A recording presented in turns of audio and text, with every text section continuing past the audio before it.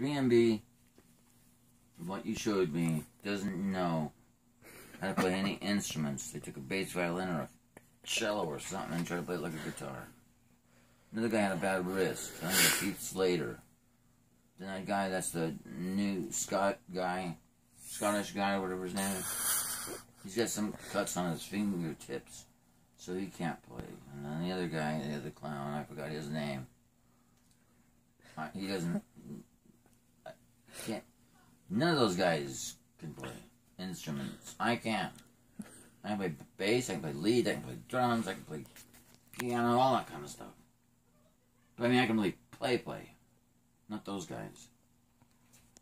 They're more like gay, gay. Bye. I'm out of here.